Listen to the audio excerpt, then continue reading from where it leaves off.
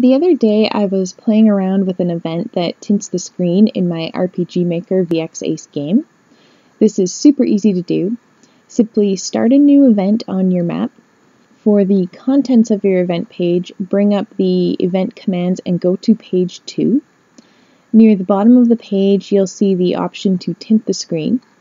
Clicking on that's going to give you all the options to tint your screen whatever color you want. The time will be how long you want the tint to take. Um, the event I'm going to show you takes 60 frames to tint to the red color, and then it takes 120 to tint back. You'll probably want this event to happen as either an auto run event, so it happens automatically, or as a parallel process, so it will happen at the same time as another event. I chose parallel process for this one. Now, to untint the screen, you need to create a second event page tied to a switch that will tint the screen back.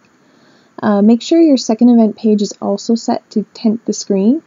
I wasn't paying attention and accidentally was trying to untint a picture instead of the screen, and of course nothing was happening. So here's my screen tinting event in action. The original screen tint gets triggered as the player is transported to the house. The second tint, which turns screen back to normal, um, gets triggered at the end of the event with all the dialogue.